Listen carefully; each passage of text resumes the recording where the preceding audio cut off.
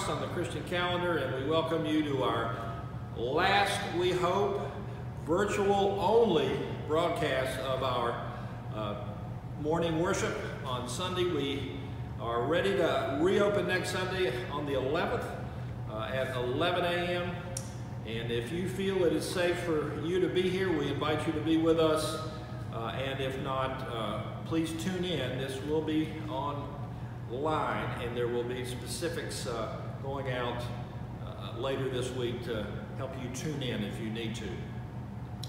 So uh, if you are tuning in for the first time, welcome. We're glad you finally found us. And if you've been with us through these many months, we thank you for your patience and endurance. And we look forward perhaps to seeing you uh, here in our sanctuary in weeks to come.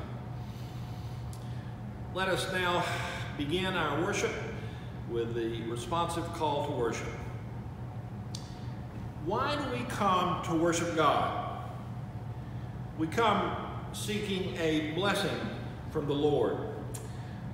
What is this blessing we seek? We seek an encounter with God who washes us in mercy, calls us to service, and fills us with love. Let us worship God together.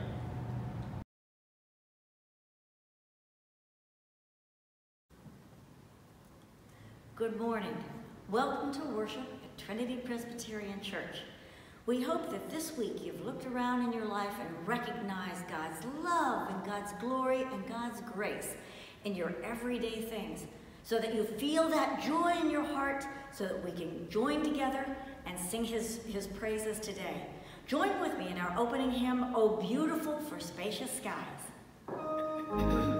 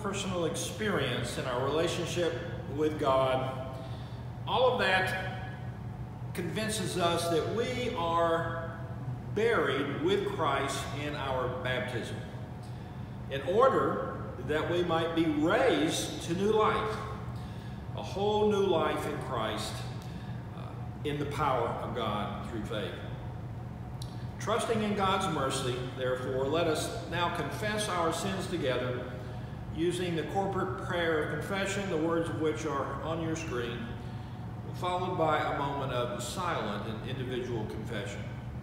Let us pray together. You are love, O God, and you have loved us from the beginning.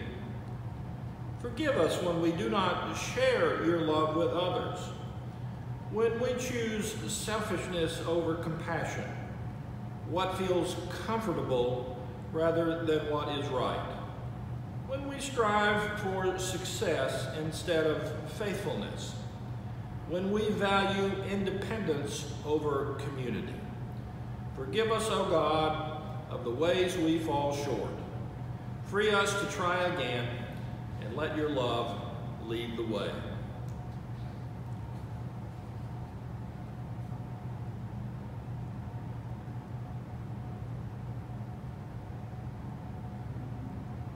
Hear our prayers, O Lord, both spoken and silent. In the name of Christ we pray. And let all God's people say, Amen. Friends, hear the good news. Do not doubt it. Hope does not disappoint us.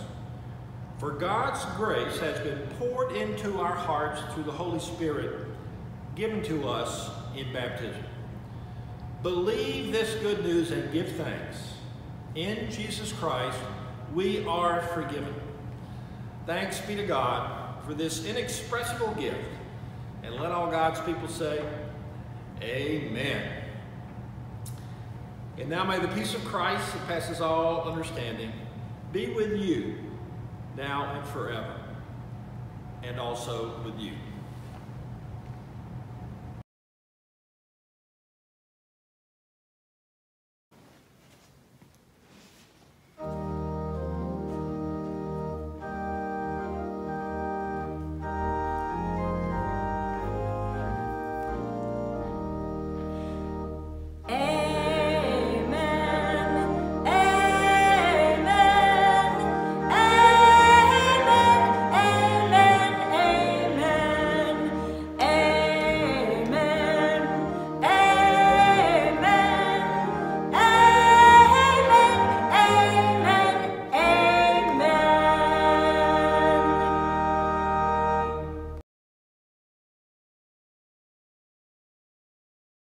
Today's first scripture lesson is Psalm 48. Listen for the word of God.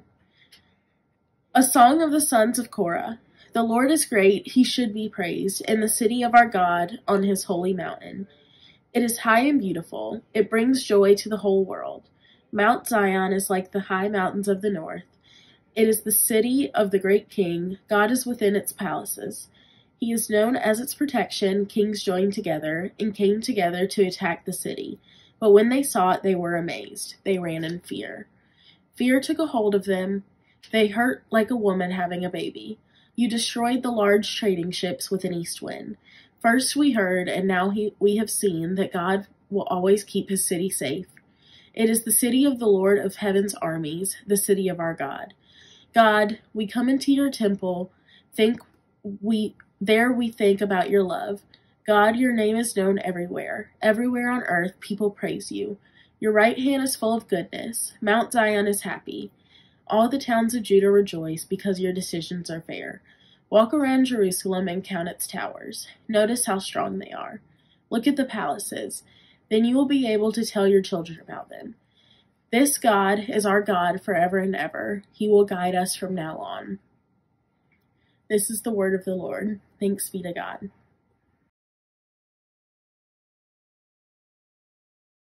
Good morning. Welcome to the children's song for today. Do you like rules? I know your moms and dads probably give you lots of rules and probably most of them you're not real fond of. You must go to bed at 9 o'clock. You must brush your teeth twice a day and for more than just 30 seconds. You must make your bed. You must help do the dishes. You must help in the lawn. You have to pick up the sticks, or even maybe if you're old enough, maybe mow the lawn. So we're not always real fond of rules, even grown-ups aren't. And sometimes we try to think of ways to get around them because rules just aren't our favorite thing, um, especially in America where we value liberty and freedom to do what we want to do. But you know what? Rules are important. Rules are very important. They help us maintain order and help us get along with one another. When you have rules in your classroom at school, it helps everybody get along and nobody gets their hurt, feelings hurt and, and the learning continues smoothly. When you follow the rules in your family, then you make mom and dad happy, you make your siblings happy, and ultimately that makes you happy. And in kind of the same way, Jesus gave us the most important rule of all. And you know it. It's called the Golden Rule. The Golden Rule is one that sounds easy, but it's not. Jesus told us to love everybody the same way that we love ourselves. And that is not always easy. Love your neighbor as yourself. And sometimes we find that extremely hard to do. But you know what? If you follow that, if you follow that really hard rule to kind of to, to kind of obey, that love comes back to you. The more love you give to the people around you, I promise, the more love will come back to you and your heart will feel better for it. I have a song about that this morning, and surprise, it's called Love One Another. Please listen.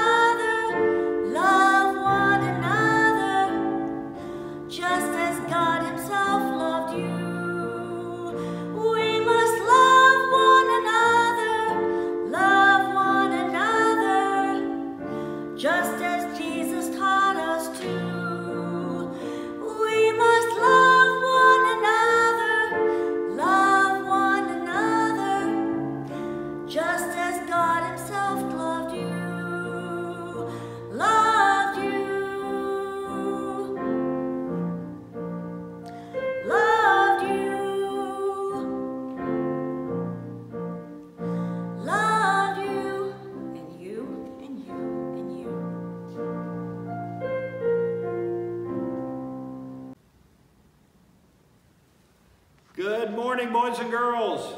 You know what today is, don't you? The 4th of July. And we all know what that means uh, in America. It means hot dogs. It means fireworks.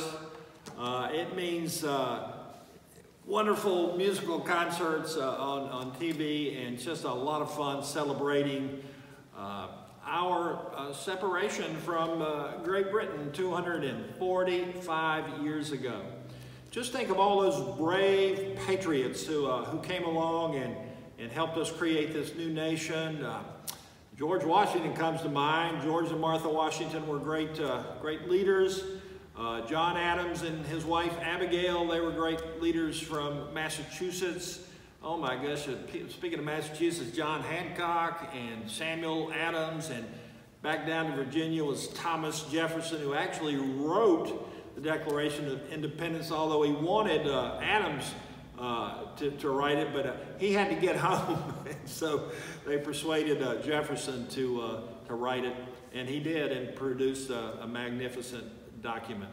So we are going to celebrate what they did today. You know, we have a flag, and we always learned to, to, in school to pledge our allegiance to the flag and the nation for which it stands. And that flag is red, white, and blue. It has 13 stripes on it, and what do they what do they stand for? Izzy, you remember? The 13 stripes, uh, the red and white. What do they stand for? Yeah, you remember it. He's been doing his homework. The original 13 colonies that were represented there on the 4th of July, 1776, who signed the document. Uh, what, are the, what about the, how many, so there were, how many stars were on the first flag? Well, there were 13. Each of those stars uh, stood for one of the original 13 colonies, and they were in a circle. Uh, and it was on a field of blue. So we have white stars on a blue field and 13 red and white uh, uh stripes representing uh, those original 13 colonies. Now, uh, that, who, who was, um, when we became a nation after they wrote the Constitution 13 years later, uh, who was the first, the very first colony uh, to, um, to ratify or approve uh, the Constitution? Do you know who that was? Uh, it was um, Delaware back in 1787, December the 7th, 1787. The second one in line was Pennsylvania, uh, just a few days later on December the 12th. Uh, do you know when North Carolina uh, ratified it? That was on uh, the 12th. Uh, they were number 12 on November the 21st, 1789. Now, how many stars do we have in, on the flag now? Izzy, you remember that part? Yeah, you're, you're good. You're good. Here, here's a dog biscuit. Um, 50. I can remember when uh, Alaska and Hawaii came in. And I always forget the order. Uh, the, the, last one was Hawaii. Alaska uh, beat them to the punch uh, as number 49. But here's a really hard pop quiz. Which of the 50 states uh, joined the Union before Alaska, which would have made them number 48? Yeah, 48. You know this one, Izzy? Oh, you don't know that one. Oh, that you, you oh, okay. You fell asleep during that part in the in the, okay. All right. Well, aren't you glad we're, we're all about grace around here? Well, it was Arizona. Uh, it became a state, uh, and on, on, on, on, get this on um, Valentine's Day, February the 14th, 1912, they became the 48th state. And then uh, when Hawaii joined, on August the 21st, 1959, I was nine years old, we had 50 stars uh, in the flag. And if we ever have another state, uh, we will have uh, to, to, get a new flag and add an extra star to make it 51. So we give thanks to God today for the bravery, the courage, the commitment to God and country uh, back 245 years ago who helped the United States of America become a nation. So uh, let us join uh, pause here and thank God uh, for God's grace and for God's love. Let us pray together. Dear God, thank you for your grace and love. Thank you for the brave men and women who signed the Declaration of Independence and helped create our nation long ago. We pray that you would make us responsible citizens who, in the words of Jesus, love one another. And let all God's people say, Amen. Thank you, Izzy. See you next week. God bless you. At the heart of the Christian gospel is the almost incredible fact that we have undergone a conversion from what we were to what God wants us to be, a transformation. Uh, Paul calls it a new life in Christ, a whole new creation. So this is captured beautifully in 2 Corinthians, Paul's letter to the church in Corinth, uh, beginning with verse 16 and concluding with 21.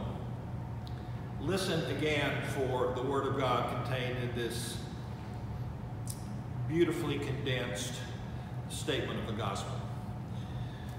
Paul writes, From now on, therefore, we regard no one from a human point of view. Even though we once knew Christ from a human point of view, we know him no longer in that way. So, if anyone is in Christ, there is a new creation. Everything old has passed away. Behold, everything has become new.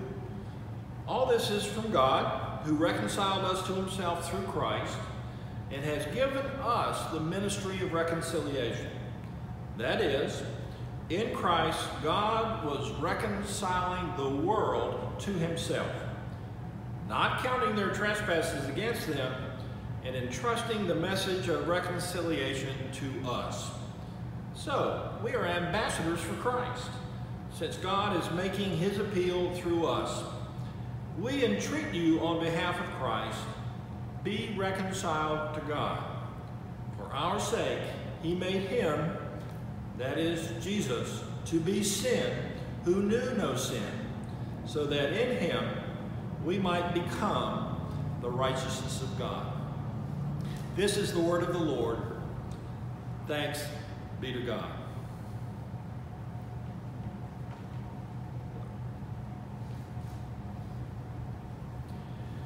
Well, I hope you're ready for uh, a great celebration today. The uh, 4th of July has become a, a very uh, salutary um, milestone in the history and in the life of America. Uh, it goes back uh, to, uh, to our origin story. we all know it well. And so um, we're, we're even going to get a bunch of sunshine today and tomorrow uh, in this wonderful uh, weekend. Now, on July the 4th, 1976, I found myself in an unlikely place. I had recently moved to Boston for my first full-time job, fresh out of seminary, and I was delighted to discover that the city was celebrating the bicentennial of our nation, the signing of the Declaration of Independence in a big, big way. Now, for decades, the Boston Pops Orchestra had played a 4th of July concert on the lawn by the Charles River on a very long river work uh, they call the Esplanade. But this was the 200th anniversary of that signing, and so uh, this year's concert or I should say that year's concert, was uh, planned to be something way over the top. Well, I certainly didn't want to miss this big event, so a friend and I arrived an hour and a half or so uh, early so we could get a good seat on the lawn. Well, the problem was uh, about one million other people had the same idea. You can look it up in the Guinness Book of World Records, and that event is listed as the largest outdoor classical concert in world history. I think it's still, I, I don't think that that record has been broken. I haven't checked, but uh, that, that was a new record. Well, after spending an hour and a half trying to find one little patch of ground to sit on, uh, we were forced to do what Zacchaeus did when Jesus came to town. We had to climb a tree, which was behind the, the, the, the, concert stage, which was a, half shell, uh, a half shell, opaque. You couldn't see any, any of the players. Uh, and, and sit in that tree for the next two and a half hours, uh, listening to the Boston Pops give a rousing concert, uh, playing that climax with the William Tell Overture and the Stars and Stripes Forever with pealing church bells, breathtaking fireworks, and loud cannons filling the night sky. Oh, what a night to remember. I like to tell people I actually didn't see uh, the orchestra play that concert, but I did hear them, uh, even though the uh, seating was less than uh, desirable. America had a lot to celebrate that night. The American experiment in democracy had held for 200 years, which surprised a lot of people around the world who had not expected it to do so, and, and many who hoped it wouldn't.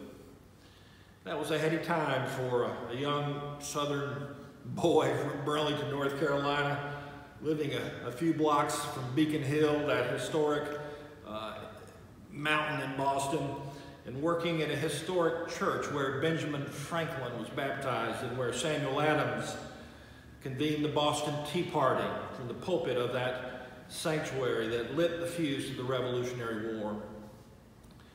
Now, mind you, a lot of Americans are confused about the origins of our nation. While it is true that the first European settlers who came here in 1620 and 1630 were largely British Congregationalists who came here for religious freedom and social and economic opportunities that had been denied them uh, back home and were afforded only to the well-born. They did not establish a nation at the beginning. There were 13 different colonies, most of whom, interestingly, established a single Christian denomination as the official church within that colony, mostly congregational and Anglican. In North Carolina, the Colonial Assembly established the Anglican Church as the official church of the colony. Now, this meant that Presbyterians and Methodists and Baptists and all other non-Anglicans could not call their houses of worship a church. Only the Anglican churches could do that. And so they were called meeting houses, which is a kind of a generic term and an insult if you uh, happen to be uh, uh, a non-Anglican. And uh, to add insult to injury, the assembly levied a tax on everybody to support the Anglican church, which included paying the salaries of the priests. Now, don't you know that went over well with the Presbyterians and the others who, who left England to get away from all of that? They not only had to pay their tithes to their own churches, but they had to pay a tax to a church that they didn't belong to. So by 1775, a sizable number of Americans had had enough of the unfair, burdensome taxation without any representation.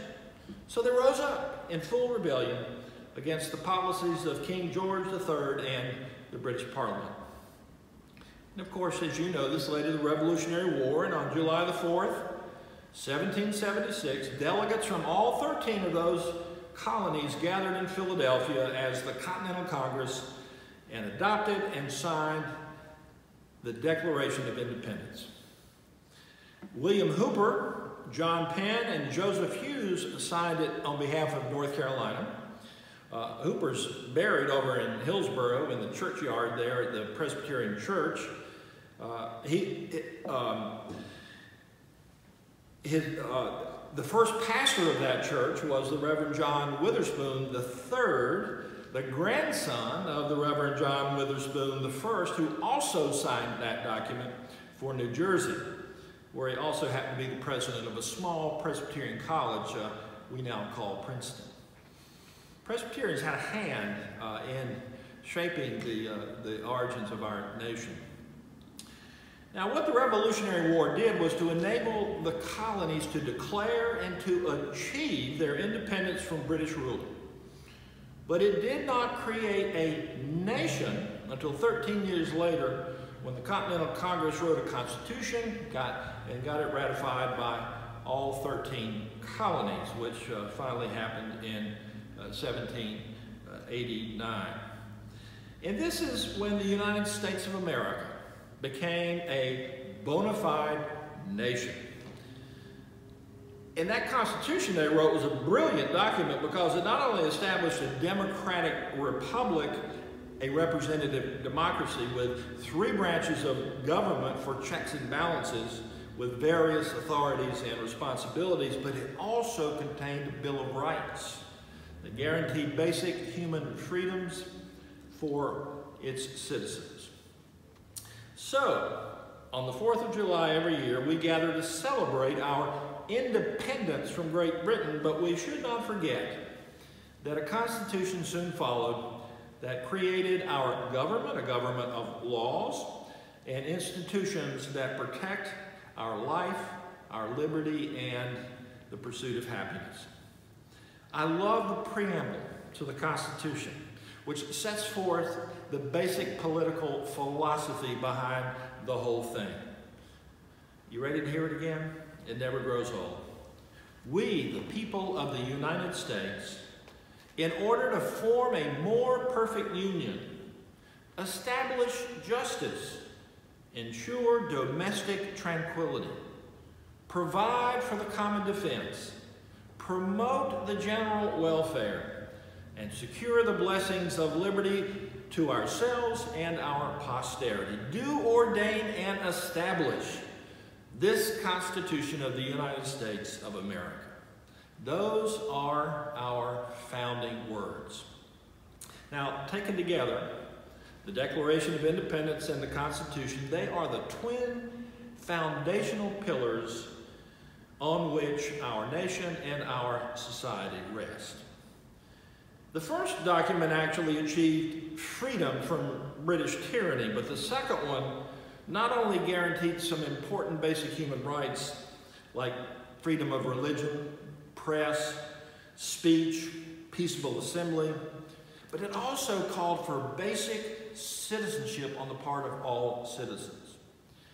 Do you remember back in the day uh, when we used to get graded on citizenship in school? There was conduct and citizenship, and you didn't want to get a C on either one of those.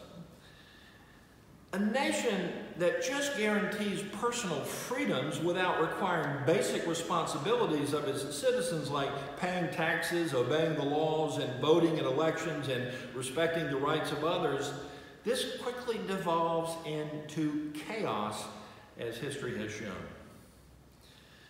But one that understands the responsibility that comes with those freedoms, uh, they are, thanks be to God, still around. We see this same dichotomy in the Christian church, don't we? The Apostle Paul spent a lot of money on ink writing about this new freedom that God gives us in Jesus Christ. We are saved by God's grace.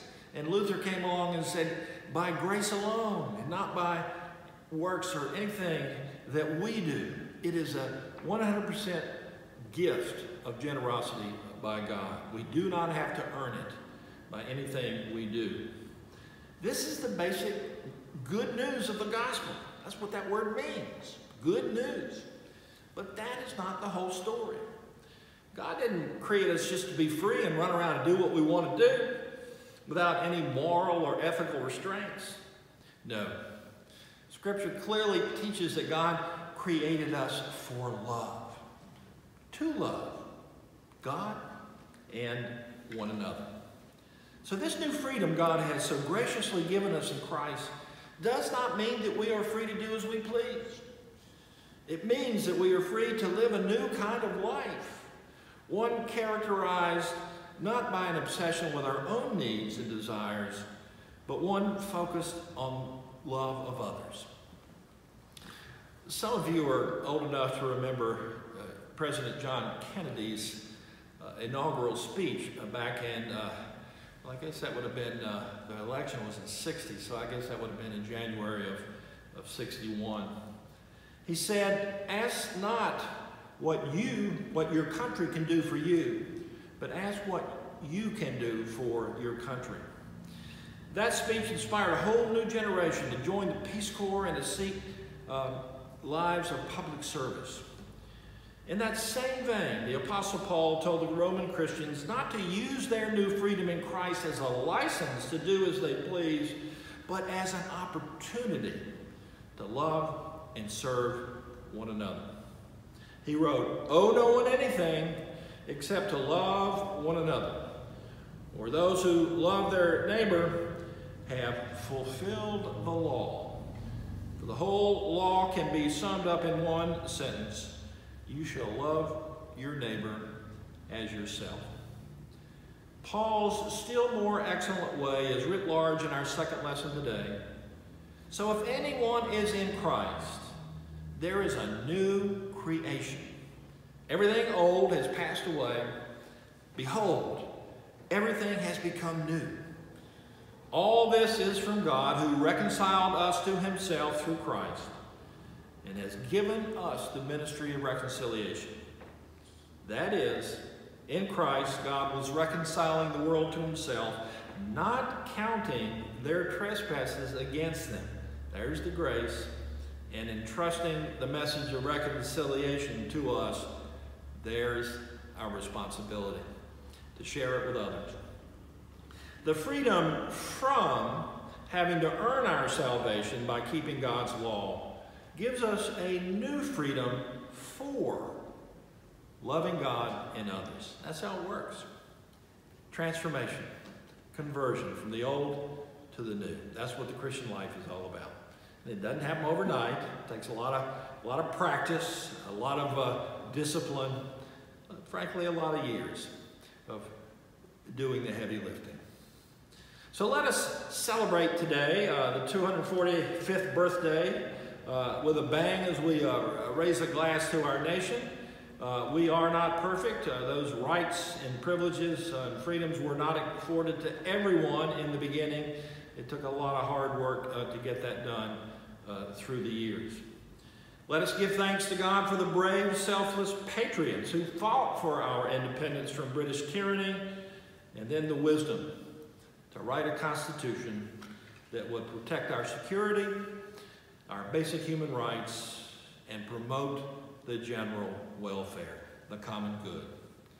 And let us give thanks for the grace of God, who has given us this whole new life in Christ, a life of liberation from the burden of sin, and a life of liberation to a life full of uh, love, joy, and peace.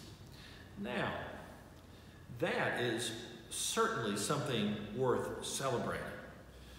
Please pass the mustard and the fireworks. Thanks be to God for his inexpressible gift, even Jesus the Christ. Let us pray. Oh, gracious and loving God, sometimes we just simply do not understand this new freedom you have given us in Christ. At the end of the day, it is full of a new opportunity. An opportunity to become the people you created us to be.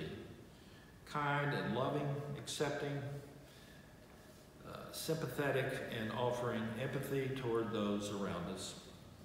So let us celebrate the birth of our nation today, but let us remember that it is not all about freedom alone, but it is about the responsibility and the opportunity uh, to be your people in your world to spread the good news throughout the world that God is love, and that love changes things, even us. In Christ's name we pray. And let all God's people say, Amen.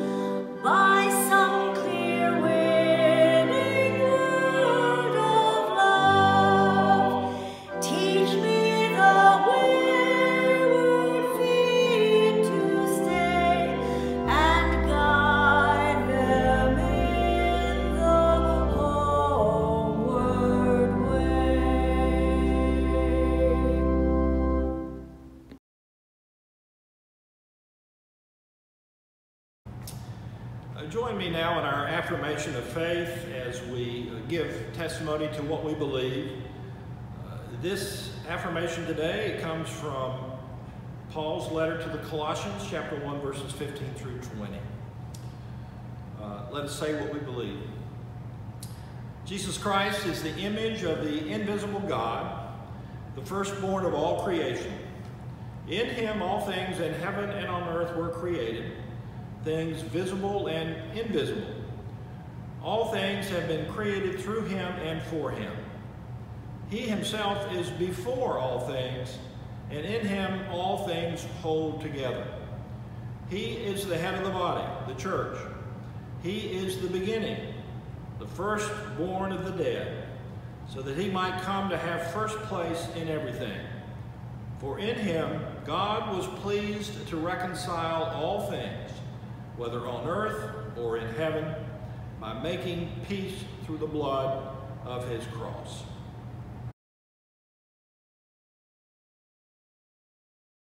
We are taught to bring all things to God in prayer.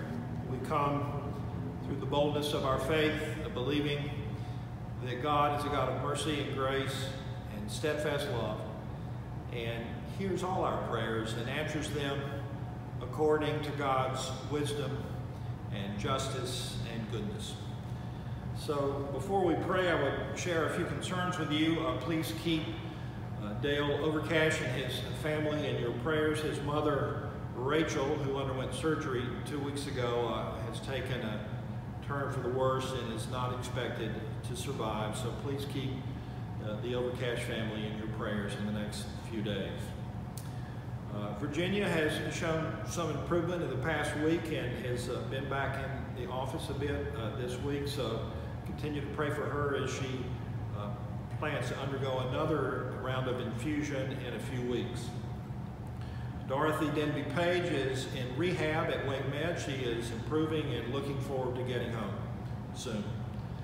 And continue to remember Karen Loveland as she undergoes her treatment for cancer. Let us pray. We will be using uh, bidding prayers today. When I say, we pray to you, O God, if you would please say, hear our prayer. We pray to you, O God, hear our prayer. Let us pray for the needs of the church, the whole human family, and all the world, saying, We pray to you, O God, hear our prayer that churches of all traditions may discover their unity in Christ and exercise their gifts in service of all. We pray to you, O God, hear our prayer. That the earth may be freed from war, famine, and disease, and the earth and soil and waters cleansed. O God, we pray to you, hear our prayer that those who govern and maintain peace in every land may exercise their powers in obedience to your commands. We pray to you, O God, hear our prayer. That you will strengthen our own nation to pursue just priorities so that the races may be reconciled, the young educated, and the old cared for, the hungry filled, and the homeless housed, and the sick comforted, and healed. We pray to you, O God, hear our prayer. That you will preserve all who live and work in this community in peace and in safety. We pray to you, O God, hear our prayer. That you will comfort and empower those who face any difficulty or trial, the sick, especially Virginia Dorothy, Karen, and Rachel. The disabled, the poor, the oppressed, those who grieve, those who are in prison. We pray to you, O God, hear our prayer. We pray that you will accept our thanksgiving, O God, for all faithful servants of Christ now at rest, who with us await a new heaven and a new earth that you have promised. your everlasting kingdom. Merciful God, as a potter fashions a vessel from humble clay, you form us into a new creation. Shape us day by day through the cross of Christ, your Son, until we pray as continually as we breathe, and all our acts are prayer. Through Christ, who taught us all to pray with these words Our Father, who art in heaven, hallowed be thy name. Thy kingdom come, thy will be done, on earth as it is in heaven. Give us this day our daily bread, and forgive us our debts as we forgive our debtors. And lead us not into temptation, but deliver us from evil. For thine is the kingdom, and the power, and the glory forever. And let all God's people say, Amen.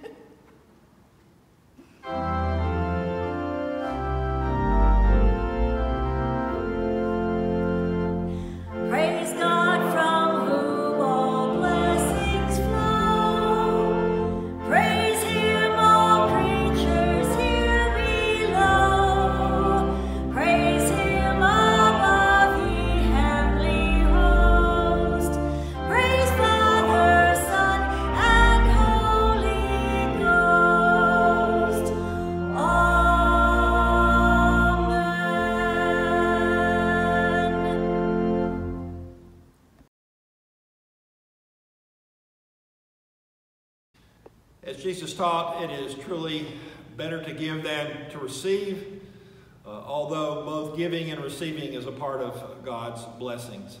So the session, I continue to be grateful to all of you for your generosity in the past several months of uh, continuing in your faithful stewardship, which has enabled us to continue our uh, programs of uh, worship and education and service. So we thank you from the bottom of our hearts for your generosity. Let us go to God now in prayer, uh, asking God to bless these gifts and offerings uh, in the support of Christ's ministry. Let us pray. O loving and generous and gracious God, we give you thanks for all your good gifts, especially Jesus Christ, and the new life you give us in him. We pray that you would bless these gifts and offerings, use them to continue Christ's ministry of reconciliation here in this congregation, in our community, and around the world. And let all God's people who love you through Christ say now, Amen.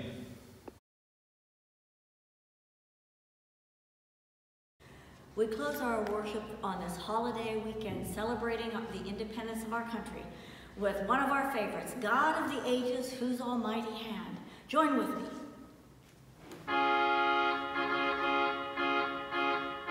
God.